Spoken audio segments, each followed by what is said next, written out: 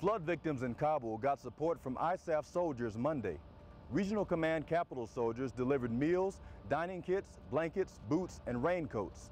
A medical doctor from ISAF was there to treat patients.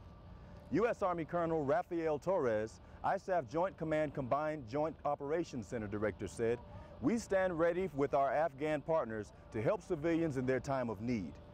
He went on to say that while there is no control over natural disasters, they will continue to support the citizens of Afghanistan whenever possible. ISAF forces continue to monitor the flood victims' needs. Also in Kabul, the Afghan National Police and coalition forces located two BM-21 rockets poised for an attack on Kabul. Members of the ANP located the rockets, removed them from the scene, and took them to a local controlled impact zone for destruction. Colonel Torres calls this a positive step towards disrupting insurgent intentions and attacks on the innocent people of Kabul city.